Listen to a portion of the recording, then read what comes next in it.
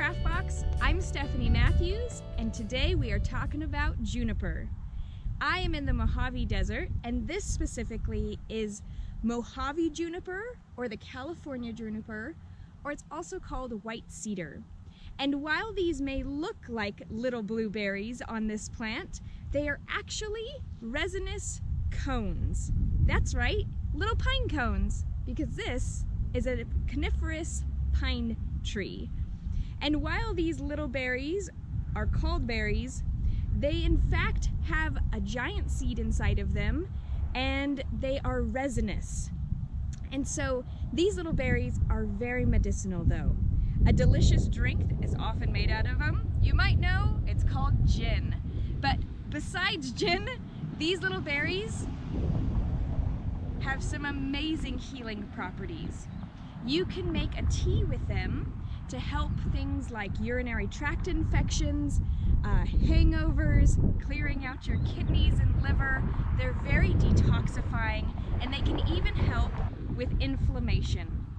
One little secret that most people don't know about these little berries is they can help with cellulite. Ah!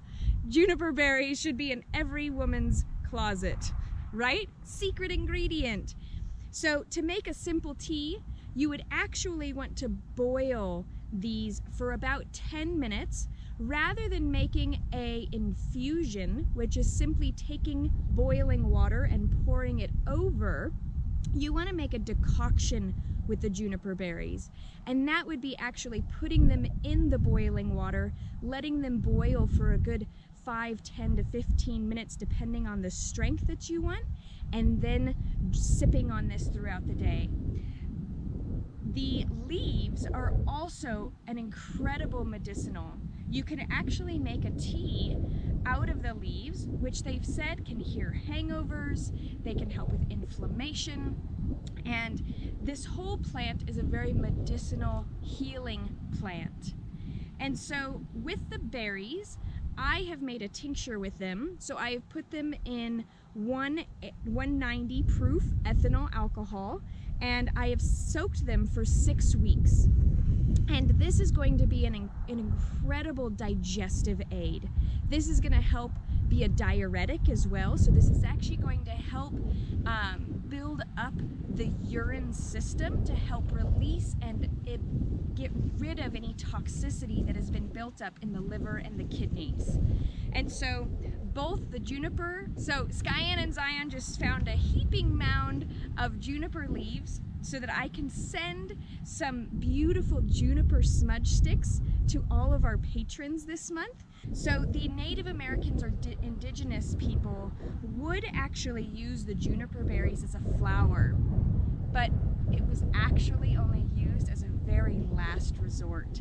And so those actually with chronic kidney issues should not incorporate juniper berry into their diet as it is so stimulating and so, it really pulls out the toxicity. And if your kidneys are already have a chronic disease in them, you do not want to overtax them.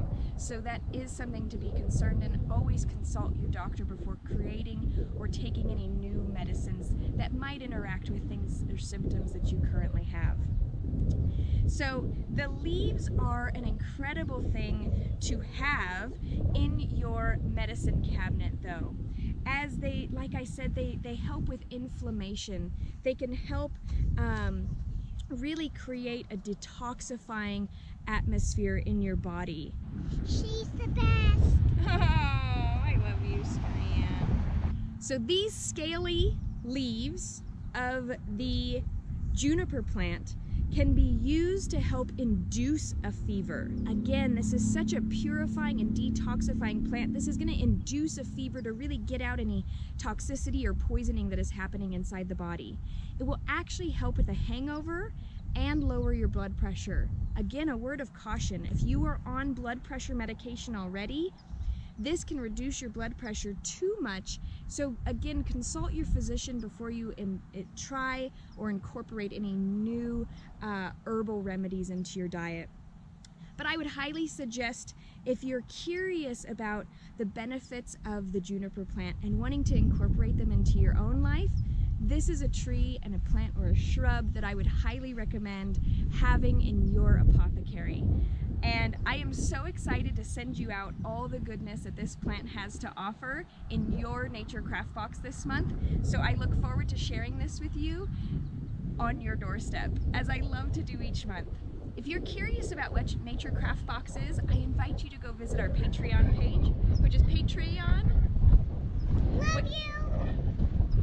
Which is patreon.com backslash Nature Craft Box. Here you will find information about how to receive the incredible goodies that as we travel around the country, send out to those who support us.